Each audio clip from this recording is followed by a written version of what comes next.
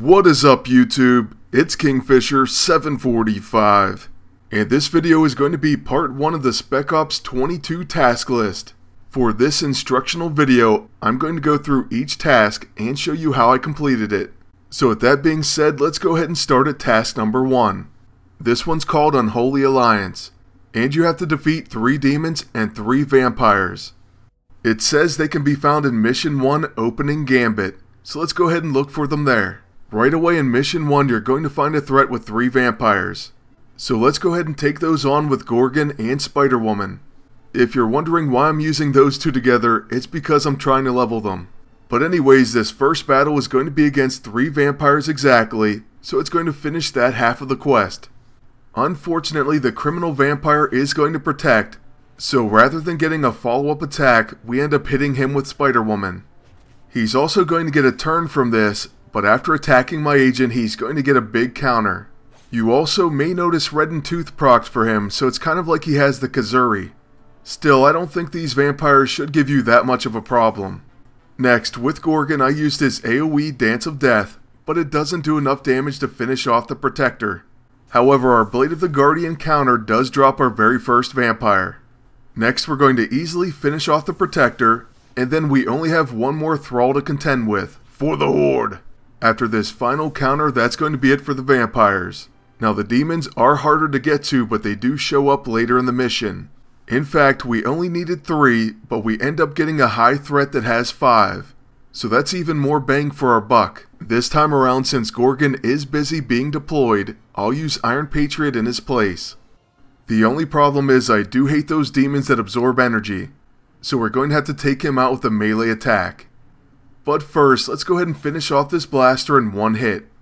Then of course he's going to explode damaging everyone, while inhaling the bottom demon. Next it's going to be Pepsi Can's turn, and we'll just go ahead and use our Blade Punch on the middle target. Or I guess I should say Plasma Blade. Then with Spider-Woman, I'll hit the bottom target with her level 2. After that we're going to easily finish off the healing demon by using none other than the Warbringer Axe. That's certainly one way to deal with him. And following one more attack by the Bruiser, we're going to go ahead and hit him with our level 1 once again. That will be the end of our 3 demons, but we do have 2 more to take out in the second wave. Hopefully we can get some counterattack finishes, but if not, we can always use the 21 gun salute. That's certainly a great option because there's no energy healing demons in this wave. So the Subsinctus gets to go first, and she hits our agent with a playful sting. Then she gets counterattacked and finished, and next, we'll use the Warbringer Axe, and that's going to be the end of this fight. Finally, the first task is finished, and we can move on to number 2. Also, we did get 100 experience for our trouble. In other words, that reward is pretty worthless. But hey, moving on to the Eternal Nocturne 2 of 26, we have to now complete two flight deck missions. These can be of any length of flight, and all you have to do is collect.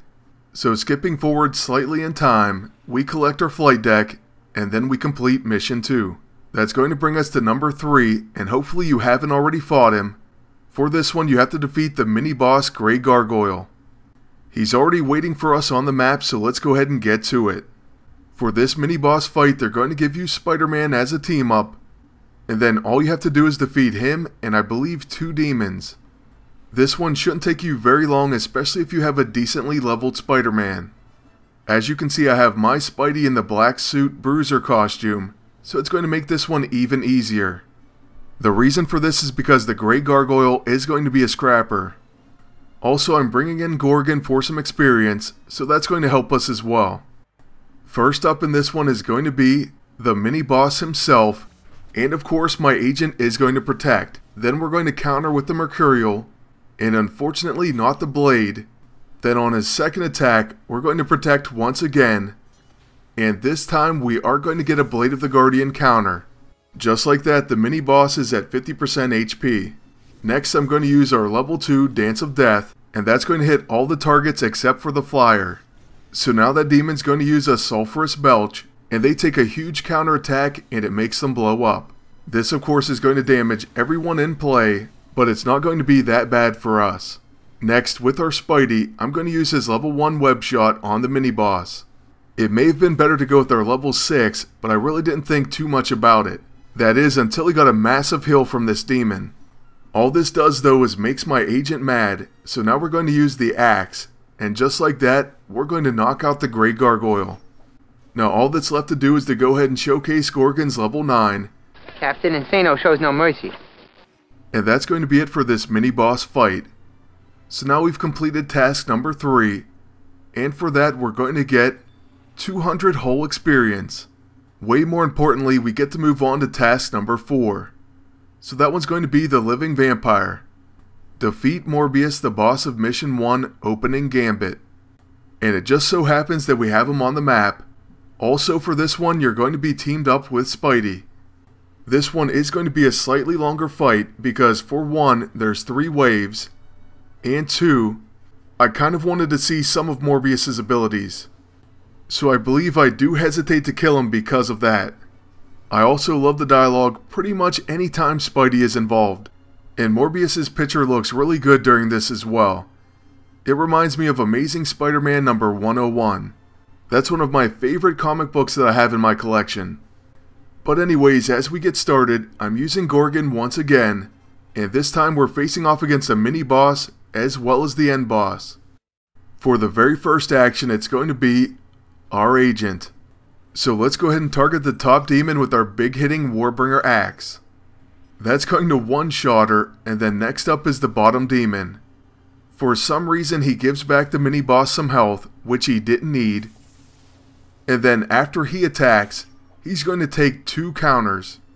Just like that he's down to a thousand HP, and right after he attacks, Spidey will easily finish him off. I'm pretty sure a web shot ought to do it. So there goes Jack-O-Lantern, and now with two attacks in a row, we're going to start with the level 1 from Gorgon, followed by the Blade of the Guardian by our agent.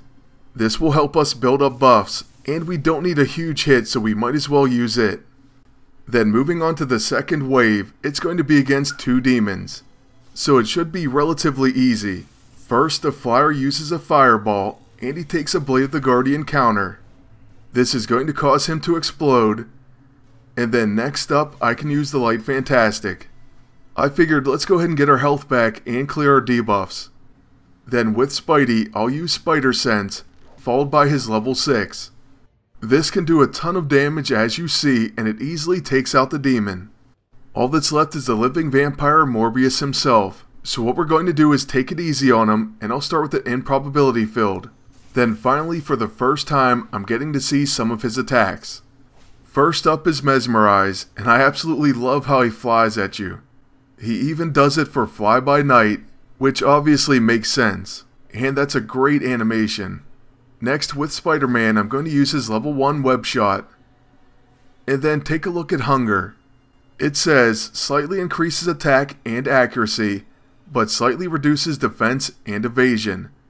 It also prevents well fed, and can be applied 5 times. So that's pretty interesting, and by the way, we have to pass with Gorgon because of Morbius's Mesmerize. Next, with my agent, I'm going to finish it off with the Warbringer Axe. So that's going to be the end of Mission 1's boss Morbius, and also task number 4. For this one, we're going to get a reward of 1000 silver, and then we also get to move on to task number 5. For step 5, you have to collect 20 unstable ISO-8, and you can do this by accepting gifts or visiting your allies. I went ahead to my allies maps and that's where I got all 20 unstable ISO-8. So then after you get this, you'll get a blueprint for the Holy Flame Grenade of Antioch. This is going to bring you to your very first research of Spec Ops 22. So let's go ahead and check out task number 6, which is to create the Hallowed Flame Grenade in the lab.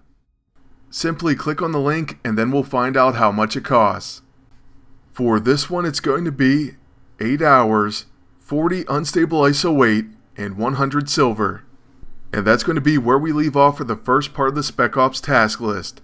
Stay tuned for the next part which will come very soon. Then I want to thank you all for watching and ask you to please like, comment, and subscribe. And until next time, good luck and take care.